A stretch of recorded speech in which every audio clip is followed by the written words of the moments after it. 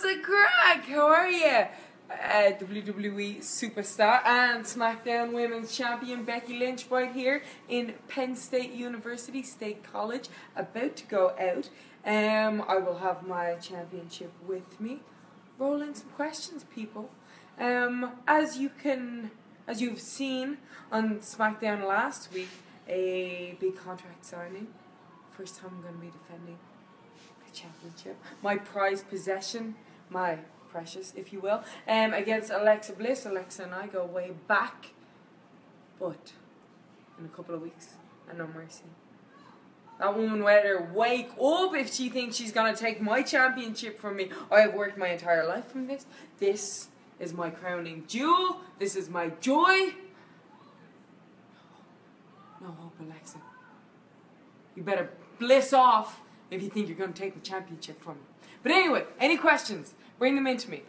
Uh, so on SmackDown Live, you said that you weren't born to be champion. Can you explain?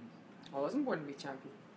Who was born to be champion? Come on, people. Who was born to be champion? Nobody's born to be champion. You don't wake up with a, with a with a title championship around your waist. No, nobody's born to be champion. You gotta work for it. You gotta put in the sweat, the blood, the tears, the hours, the waking up. You know when you don't want to. You gotta you gotta you gotta push yourself when you when you don't want to run that extra mile. You gotta tape up them ankles. You gotta stitch up them scars. You know you gotta keep going, keep moving. Nobody's born to be champion. You gotta work to be champion, and that's what I did. I fought to be champion. So this week we've been seeing on social media. Uh, there's a photo floating around of you and you and uh, Charlotte rather, the Raw Women's Champion. Uh, one of our viewers here would like to know if there any chance you might face her in a unification match down the road. Ooh, ooh, ooh. That would be interesting. I would love to. That would be a dream match right there. But I don't know that. Uh, I don't know that we're ready to un- unify any of the championships. You know, this is a standalone. This is the prize possession. You know, we don't want to, to unify this with any other championship because it's just it's just too good by itself. Uh, how long have you dreamed of being the WWE SmackDown Live Women's Champion? Well, as soon as it was announced, you know, um, can't really dream about something that doesn't exist. Well, no, yes, can. What am I talking about? Of course, you can. Yeah, but I've always wanted to be uh, the women's champion. So um, whether it's it's SmackDown, whether it's Raw, whatever brand it was gonna be, I always wanted to be the champion. I wanted to, to be the best, and this is this is uh, this is a symbol of being the best. Sure, and then uh, tonight we have uh, Sasha, Bayley, and Charlotte in a triple threat match for the Raw Women's Championship. Any predictions there on who might walk away with the gold tonight? I gotta say, my prediction, Charlotte. You know, she's a crafty one. She's she's held that championship for a long time, and there's a reason. So I don't think she's gonna be uh, defeated just yet. Um, she always has something up her sleeve. You know, I've I've witnessed that firsthand. There's always something, so you can never underestimate her. I, I'm gonna say that Charlotte's gonna walk out with the gold. Uh, how do you feel about your upcoming match with Alexa? Do you think uh, it's going to be a hard go, or is she, are you maybe a little Um, bit of an afterthought? No, definitely not an afterthought. Alexa is definitely not an afterthought. You know, we've just seen the tip of the iceberg with her, and she is. She's she's small, but she's fierce. She is dynamite. But like I've said before, dynamite is nothing without straight fire to light it. Um, I think when you underestimate people, that's that's when you make mistakes. That's when you take it handy. You can't underestimate anybody ever in this game. You always got to be the hardest worker in the room, and that's what I am. And uh, Luke wants to know what happens. Uh, where does your career go if you do lose that women's championship? If you if you are unsuccessful on if I'm unsuccessful, then I just brush myself off and get back to work. You know, um, failure doesn't doesn't scare me. I've I've made all the mistakes. I've I've lost at all the big ones. That's not a worry. And and if if if you're not scared to fail, then the possibilities are endless. Uh, we got a viewer here who wants to know if you and Sheamus hang out. Is there any uh, Irish bond there between you and Sheamus? Oh, absolutely. He's my boy. Um, both the Irish lads, Finn Balor and and Sheamus. Um, you probably wouldn't be able to understand what we're saying to each other because we talk so fast and we talk in in lingo that um might be foreign. But uh, yeah, there's there's always that Irish bond. Uh, as a huge role model for so many people, What's your proudest achievement for WWE or just life in general?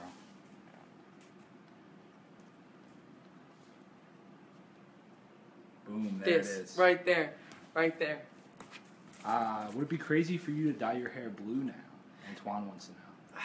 For the SmackDown Live. Oh, good, good point. Um, I don't know. I think, I think, well, like that, that blue heat. You know, when a flame is so hot that it's blue.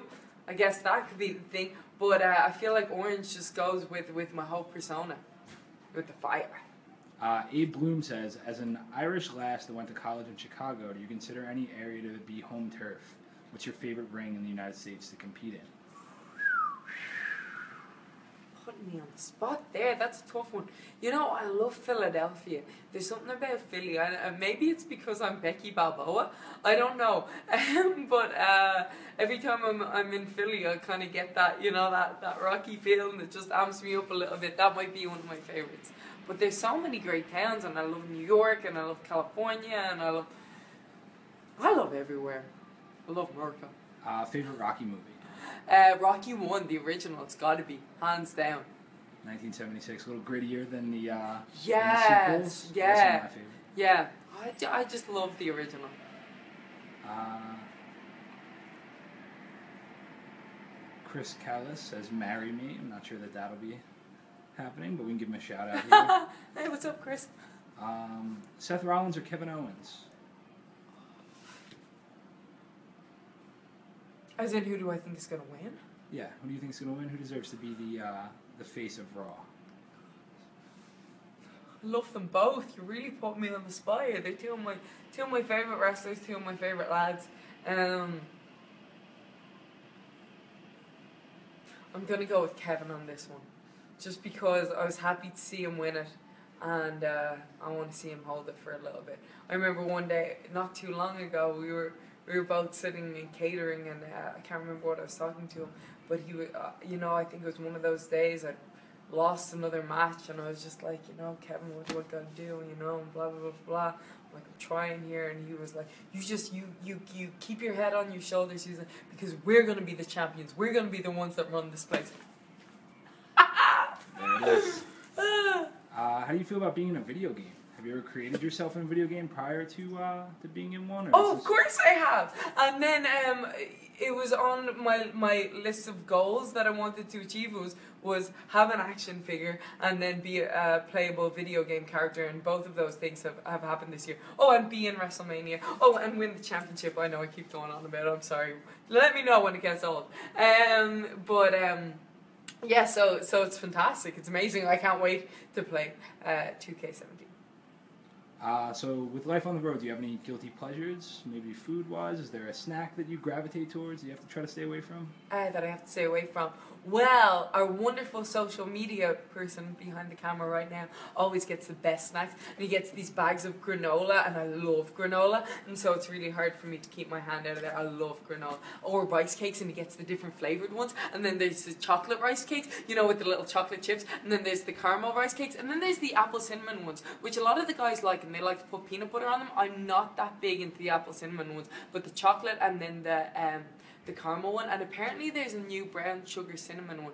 Just to let you know, just in case you see that on your travels. Definitely keep that uh, keep that in mind next time I'm grabbing snacks. Um, we've got a Elizabeth here. She wants to know how difficult was it for you to make the transition from being in Ireland to moving to America?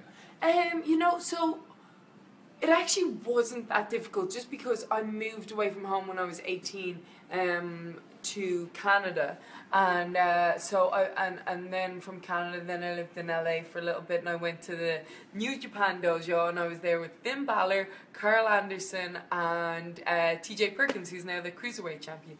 Um, so so it's cool that we've all, all come up together and, and we're all in the same spot at the same time. Um, but and then I was there, and then I uh, lived in Orlando for a little while doing a personal training course when I was 19. Then I was a bartender in New York for a little bit. Then I was in Chicago going to college and working there for a little bit. So um, I've I've been accustomed to, to coming to America and living here for a while. So it wasn't it wasn't that that hard. Look, Okay, I think we have time for just a couple more okay. questions. Uh, we have a user here who wants to know Cena, Ambrose, or AJ Styles for the face of SmackDown Live? Who should your male counterpart be Ah, to lead the blue, blue brand? AJ. AJ, the champ that runs the camp and the champ that puns the camp. You know, it goes hand in hand. Awesome. Um, we have time for maybe just one more. Uh, any thoughts about an opponent who might be next in line after Alexa? Anyone who you're scouting on the SmackDown Live women's roster? Oh, all of them. You know, all amazing contenders. Um,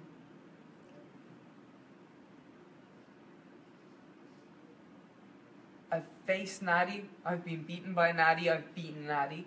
Um, I would love. I'd love to go up against Nikki.